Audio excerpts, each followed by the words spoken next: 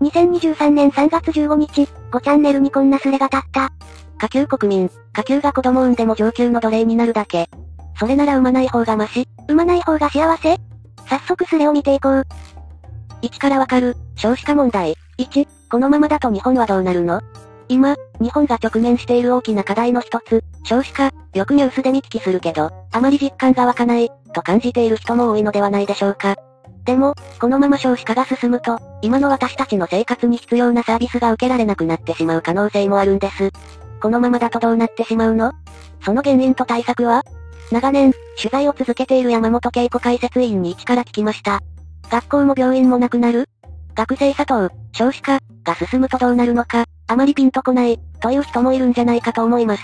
山本解説委員、当たり前ですが、少子化によって、まずは人口そのものが減ってしまいます。そうすると、皆さんの住んでいる地域から、あるのが当たり前だと思っていた学校や病院なんかがなくなってしまう、なんてことが起こるかもしれません。全国には地方を中心にすでに過疎化が進んでいる自治体がたくさんありますよね。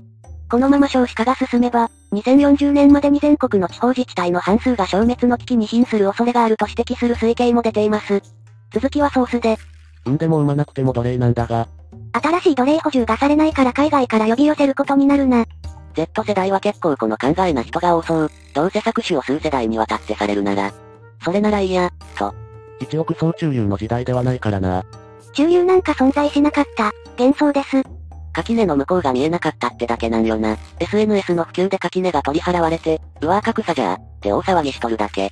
いやいや、中卒度方でも18で免許取って車を買うのが当たり前だったし、それが可能な豊かさだった。勉強して東大行けば誰でも上級になれるのに東大出ても民間に行こうが観光庁に行こうが親のコネで入ってきたボンクラの奴隷にされて終わり。官僚ですら奴隷とかバカじゃねえの？お前は官僚の何を知ってるんだよ。官僚にも奴隷は山ほどいる。いや、お前が官僚の何を知っている？底辺のくせに。勉強して東大行けば誰でも上級になれるのにそんな時代はとっくに終わってる。東大は入ってからの競争がガチなので、頑張って受験勉強してやっと滑り込めたような人は勝てないよね。2年終了時の成績で新振り決まって回70%は爆死。研究室配属で上位のうちの3分の2が爆死。因子でほぼ全員が爆死。それが東大。努力家多東大生の受難はそこで終わらなくて会社入っても学歴コンプレックスを抱えた連中から、東大生というだけで特別視され、仕事ができないと過剰に見下されるっていう。経団連、奴隷は外から連れてくるし別にええで。外国人奴隷、日本の給料安いから他の国に行くわ。っていう結婚できない言い訳。そうやって馬鹿にし続けてきた結果が今なんだと思うよ。マジで。だから、自分みたいな劣った人間の子供に生まれたら生まれてくる子供がかわいそう、と言い出す人が増えてきちゃったわけで。底辺さ欲っていつも努力の否定から入るよね。負け癖が染みついてしまってるんだろうね。仮に下級のままなら受益強化で得だろ。奴隷ってのは累進が止まるあたりにいる最も迫害されてるそう。年収1000万くらいで税金絞り取られてるサラリーマンが一番かわいそうよな。年収1100くらいの親父が雇用延長で600万くらいになり、今の方が楽だと言ってた。そりゃ無能が600万何もしないでもらってるからだろ。雇用延長になる程度にはいなくなると困るんだろ。まともな企業なら65まで雇用義務がある。雇用の、義務、なんてねえよ。まともな企業にはコンプライアンスやブランドイメーがあるから、政策に相応、努力はする。義務、の話してんだがああ、義務ではない、が努力義務だ、政策だからな。貧乏人が子供を産むと悲惨だぞ。親もより貧乏になって悲惨。子供も貧乏スタートでかなり悲惨。親が無理して大学行かせても本人奨学金返済と親も老後の金なくて親の扶養まで出てくる。貧困は断ち切れんからな。ノブレス、オブリージュに該当する、日本語がないことからも明らかだろ。日本人は陰湿なんだよ。下の人間には奴隷的扱いしかしないもん。中国や韓国の優しさを見習えってほんま。性善説がそれになるはずだった。善行するには教育が必要って話だぞそれ。まあスタートが貧民だと大きなハンデだしな。努力すれば余裕、ってよく言われるけどなかなかハードな努力と時間が必要だし、上級から淘汰されていく可能性大だから正論といえば正論か。全く同じ能力と同じ量の努力なら親の資金で差がつくからな。これは紛れもない事実。俺が結婚はしたが子供作らなかった理由がこれ、残すほどの遺伝子の持ち主じゃないから、天才同士で結婚したやつだけが子供たくさん産めばいいと思うわ。嫁さんの遺伝子が残す価値あったとしたらその結婚のせいで天才との結びつきを妨げてるのでは？嫁さんはそもそも子供嫌い。つか、生まれたら辛い努力やきつい労働、将来への不安、別れの辛さや死への恐怖を抱えることになるんだから、人間を産むこと自体があまりいいこととも思えんが。そういうのを非出生主義というらしい。偉い学者さんに多い考え曰く、人が子孫の幸せを考えた時にしてやれる最善のことは、この世に生まないこと、なのだと、まあわかるわな。どっちかというと、反出生主義って呼び方の方がメジャーやね。今の時代に子供を作るのは世間知らずのバカだけだろ。少し考えれば子供が大人になる時には地獄が待ってるってわかるのに。そんな簡単なことすら予想できないくらい知能の低い人しか子供作ってないだろ。タバコと同じでバカを判別するフィルターだよ。うわぁ、社会の負け組がなんか言ってるわ。Z 世代なんて未来がないから、SNS で人生台無し、いきなり強盗殺人とか、投げやりに生きてるしな。チェーンソー振り回して暴れないだけマシだと思うよほんと、よく我慢してるわ。気づいてしまったようだな。人類が滅びて違う種が地球の長になっても地球にとっては構わない話だよね。ということで私は人類自体が不要物だと思っとります。宇宙、別に惑星一つなくなってもどうでもいいっす。そうそう。だから本来なら別に人類が人類の出生数が減ってるからなんとかしなきゃなんて対策する必要はないのよ。五公五民、主食コオロギ、こんな国住みたいか？それでも母国よりマシ？っていう連中しか入ってこないってことさ。親が頑張っても子供がネットで上級の生活覗いてしまって苦しむんだよね。キラキラした東京の街で温かい両親の元のびのび育ってる同年代見たらもうおしまい。SNS でしょうもない情報見て踊らされてるだけだろ。上級とか下級とか幻想作り出して勝手に対立してろ。アホ、政治に目が向かないように、国策として分断対立を作り出してんだよ。そんなこともわからんのか。はいはい、よかったね。指摘されるとなんで思考停止しちゃうかね。思うツボだぞ。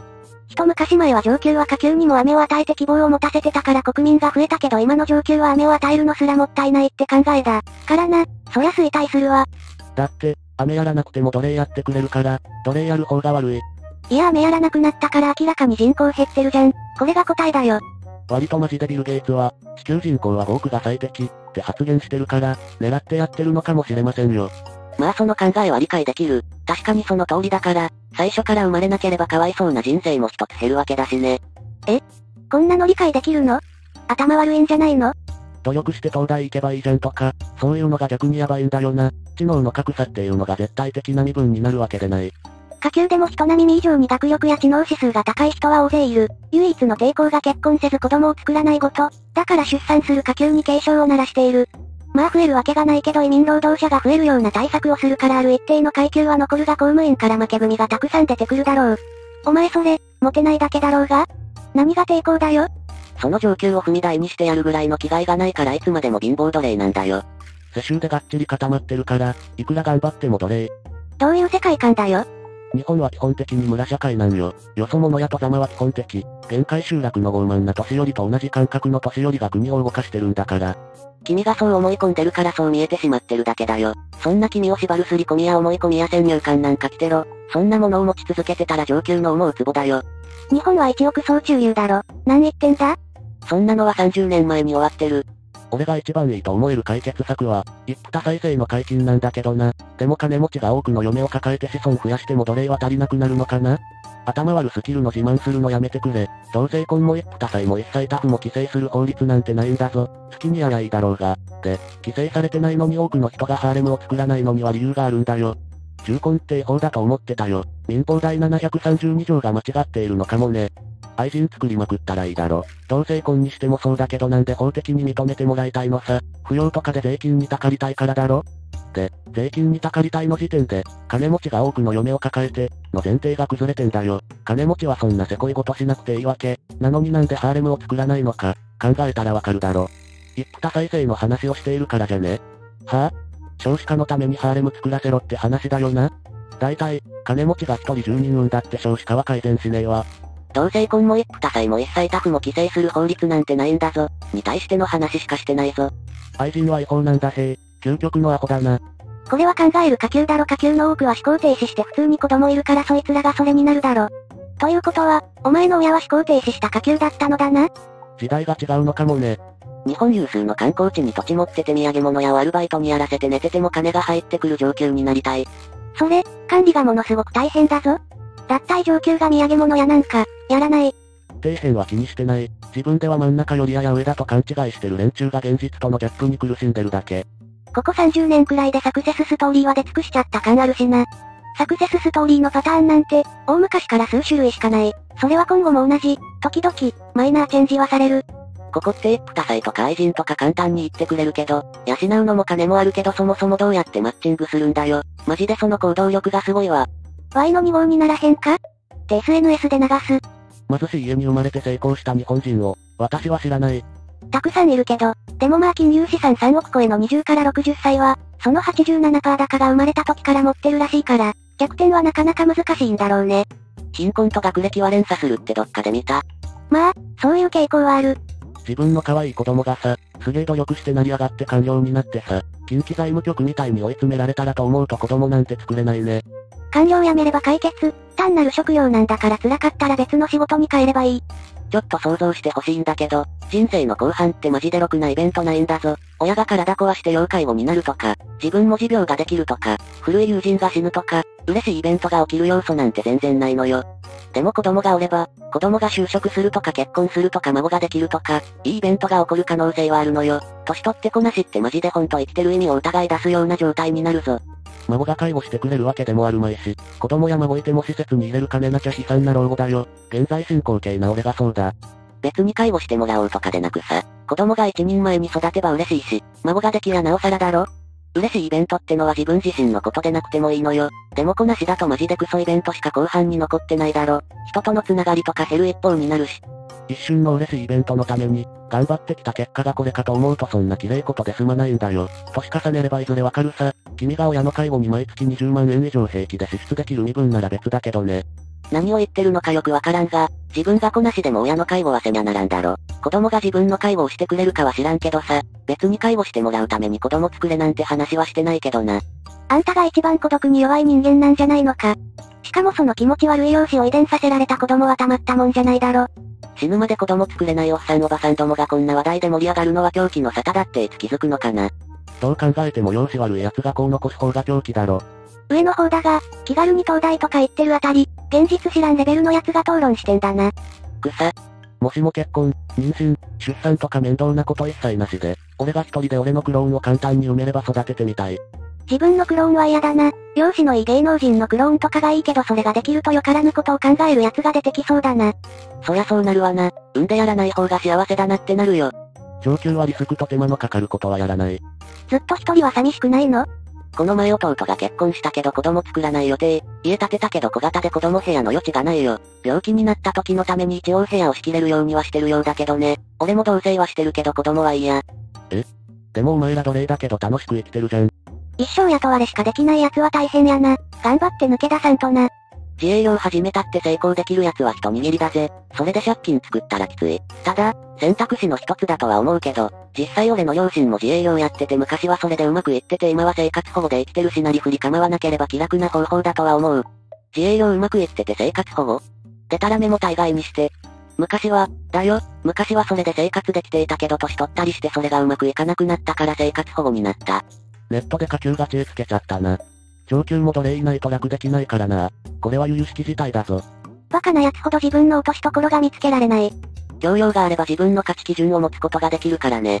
でも最終的に人口減で一番被害を受けるのは下級からなんだよな。製造業やサービス業に就労できなくなっておまんま食い上げ、上級は搾取構造がある限り生き続ける。今、強盗にやってるのは上級だから、直接刑事事件の被害者になってるのは、上級が先だけどな。しかも、もう始まってるからな。そもそもこの国は東京かそれ以外かでまず二分される。東京で戸建て、タワマン暮らしなら相当上位だけど、東京でアパート賃貸だと日本全体でも最下層の方だけどね。日本みたいなぬるゲー社会で何を言ってるんだか、ちょっと努力すれば平均以上には簡単になれる。今だと、年収650万くらいだろ。子供を間違いなく上級に突っ込める、年収ではないな。子供を上級に突っ込むのが、子供を持つ動機なら、止めとくのは大正解ではあるな。上級も下級も歯車であることに変わりはない。替えが利くかと意識的であるかの違いはあるが。その奴隷がいるから国が発展すんのやろ。奴隷もいなけりゃ国が滅ぶ。今回のスレはここで終わってしまいました。皆さんはどう思いましたか？ぜひコメントよろしくお願いします。最後までご視聴ありがとうございました。チャンネル登録よろしくお願いします。